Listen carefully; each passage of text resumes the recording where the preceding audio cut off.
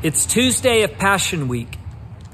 Jesus and his disciples went to Bethany to spend the night. They left the temple area in Jerusalem, spent the night in Bethany. And on their way back in on Tuesday morning into the temple area and courtyard, the disciples pass along the fig tree that we spoke about yesterday. If you'll recall, Jesus cursed the fig tree because from a distance it had these uh, beautiful leaves, but as he got closer, uh, there was no fruit.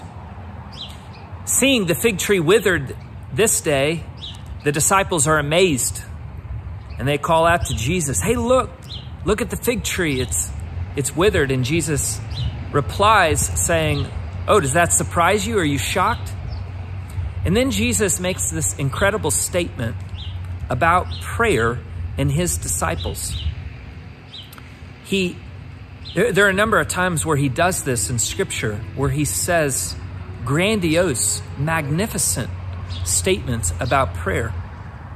He says, I tell you the truth, that if you believe anything in prayer in my name, if you ask for it, it will be done to you.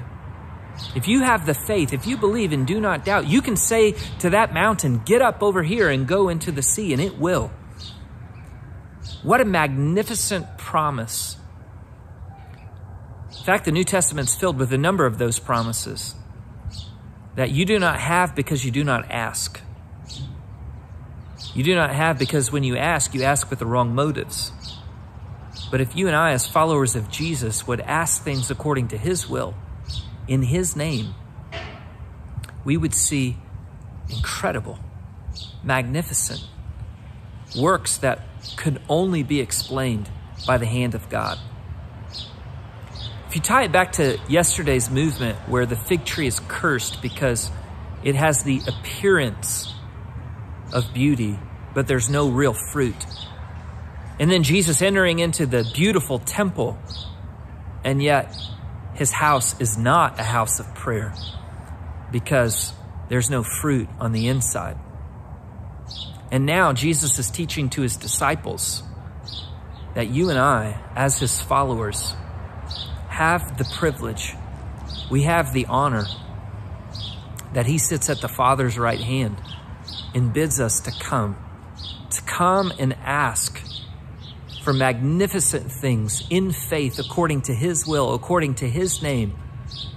What will he do? This is his teaching on Passion Week.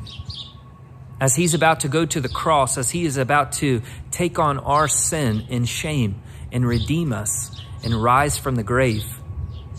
His teaching to you, dear disciple, is if you will ask and if you will believe, you will see magnificent things.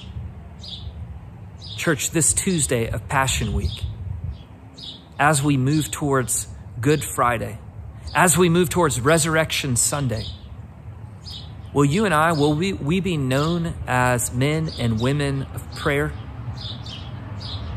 Who call upon our Lord, who trust in God so much that we don't rely on our own strength, but rather we rely on His strength?